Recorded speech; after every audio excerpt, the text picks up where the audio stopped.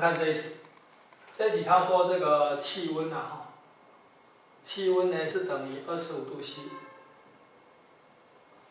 然后一个火车哈以速率十五公尺每秒前进，当起鸣笛的时候开始呢加速，哦，假如加速度是 a 好了，以等加速度 a 的话呢前进哈，这个时候前方三百六十八公尺的地方有个山洞。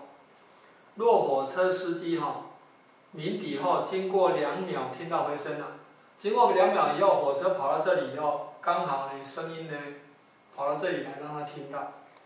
那么他问加速度等于多少？好，这怎么做哈？这个两秒内的话，我们假设哈，这个火车呢跑到这里来，那这个呢距离叫 x 好了。那这个距离呢就等于多少？就等于三百六十。三百六十八，三百六十八减 x，我跑到这里来，也就火车跑到这里的时候的话啊，声音是这样过去再回来，哦，他就听到回声。好，那我们先来看呢这个声速，声速等于多少？声速是三百三十一加上零点六 t 啊，哦，t 是二十五度，所以是三百三十一。加上零点六乘以二十五，零点六乘以二十五的话呢，等于多少？再把它算一下，三百三十一加多少？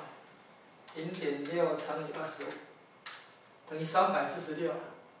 我声速是三百四十六。好，那这个火车从这里跑到这里来，跑多少距离呢？x 就等于哈。这是呃二分之一 a t 平方，t 是两秒，两秒听听到声音嘛，听到回声。二分之 a t 平方加 v 零 t 十五 t，t 是两秒。然后从这里跑到这里来的话，多少多少距离呢？就是三百六十八，三百六十八加上这一段距离，三百六十八减 x，这个是声音走的距离啊。增速是三百四十六，它乘以两秒。好，那这样我就可以把 x 算出来。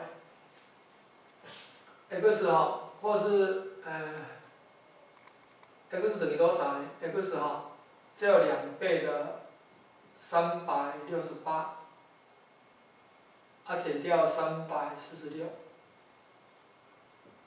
一减就是二十二，所以是四十四。四十四，我把它带。带回去，这是四十四，那我就可以求 a 了，二约掉，然后再可以约掉二，二约二约，二得四，二得四，所以我就晓得哈，a 等于多少呢？等于二十二。减十五，七啊，七公尺。每秒每秒，所以这一题哈，答案应该要选 B。